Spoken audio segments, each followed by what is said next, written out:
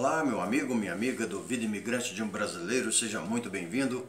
Meu nome é Romulo Cássio e hoje estou aqui para conversarmos sobre um assunto que o pessoal tem perguntado muito. É, como que se faz para entrar no mundo do transporte de cargas pesadas é, aqui na Europa?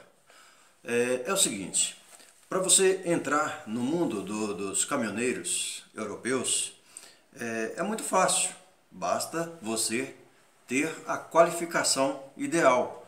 É, desde já lhe, lhe antecipo dizendo que não é uma vida fácil, como no Brasil, é muito trabalho, muito sofrimento, né? Você tem que ficar muito tempo fora de casa e mas compensa, porque você que está aqui em Portugal como imigrante, é, principalmente sendo brasileiro, é, não justifica você sair do Brasil, vir para Portugal para ganhar salário mínimo. Concorda comigo? Então, é, no Brasil eu já era caminhoneiro, eu já tinha a profissão de caminhoneiro. É, vim para cá e foi a forma é, que eu encontrei né, de, de, de, de voltar ao, ao mercado de trabalho como caminhoneiro e ganhar um pouco mais, né? bem mais, né? por sinal.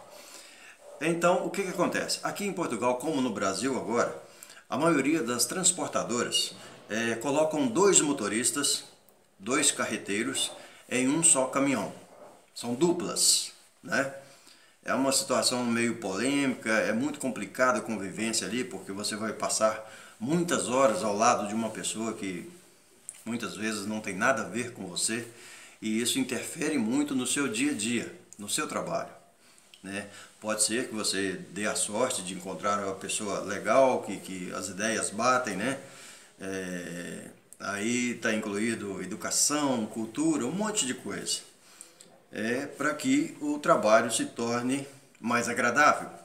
E também pode acontecer também o, o, o ao contrário, de você encontrar uma pessoa totalmente descontrolada, sem educação, um, monte de, de, de, de, de, de pormenores que fazem uma diferença muito grande.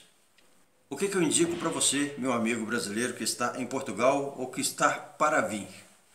É, já traga a sua carteira profissional, a sua carteira de motorista profissional categoria E, traz ela já com você dentro das validades, tá? É, se estiver para vencer no Brasil, procura renová-la antes de vir, isso é, é muito importante. E se a sua esposa ou a sua namorada né, tiver a coragem de lhe acompanhar, fazer dupla com você, banque lá a, a carteira dela, pague para ela tirar a sua carteira E também, e vocês dois vão trabalhar juntos. Cara, é o casamento perfeito na estrada. Além de vocês, vocês vão ganhar muito bem, tá? Isso aí é muito bem que eu estou dizendo, pode chegar em torno aí dos 5 mil euros. Porque é, aqui existe o motorista de primeiro e o motorista de segundo. Então o de primeiro salário é em torno aí, fica em torno aí de 2.200 a 2.600, podendo chegar até 3 mil, porque dependendo da empresa você ganha quilômetros rodados. É o caso da empresa onde eu trabalho. É mais vantajoso. Pneu rodando, dinheiro caindo na sua conta. E o segundo motorista geralmente fica em torno de 1.600, 1.800, 1.900, vai depender da quilometragem. Mas isso não importa. O que importa é que você e sua esposa ou sua namorada vão estar trabalhando juntos, né? já tem ali uma afinidade, é, vão enfrentar as mesmas, mesmas dificuldades juntos e é o que dá um pouquinho mais de conforto financeiro aqui na Europa. Para quem está aqui, você vir para cá para trabalhar restaurante, não, não estou é, falando mal das profissões, né? mas eu estou falando com relação à grana, porque você está aqui por causa da grana. Então não justifica você vir para cá para ganhar salário mínimo, porque salário mínimo aqui não paga conta, tá? Então você vir para cá para trabalhar restaurante, construção civil, né? É, enfermagem, apesar que a enfermagem paga lá razoavelmente bem, mas Se no caminhão você pode fazer mais dinheiro, por que não? Né? Então se você tem aí... É, ah, detalhe, se o casal, você e sua esposa ou sua namorada, é, essas dicas que eu estou dando é para você que não tem filhos. Porque se tiver filhos, meu amigo, aí não tem como. Não tem como você deixar seu filho em casa sozinho ou com uma pessoa da família ou pessoa é, desconhecida por mais de 20 dias, né?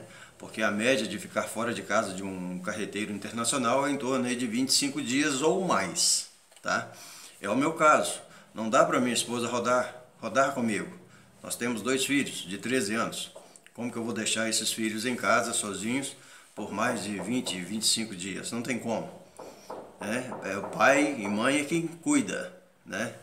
Então, é, essa é a dica que eu tenho para vocês que estão procurando aí uma luz no fundo do túnel, né?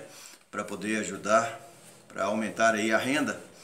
É a dica que eu dou para você, para você homem, para você mulher. Se você já é carreteiro profissional, maravilha. Paga lá, banca lá a carteira da sua esposa, aí no Brasil, se possível ainda, fica mais fácil, chegando aqui só trocar, depois de estar totalmente legalizado, tem que estar legalizado aqui, né? porque senão você não pode andar, é, não pode transitar fora de Portugal. Né? E era isso aí que eu queria passar para você. E se você gostou, compartilhe com os amigos, dê aí seu like. O mais importante, se inscreva no canal, que eu vou estar sempre divulgando alguma novidade aqui para vocês.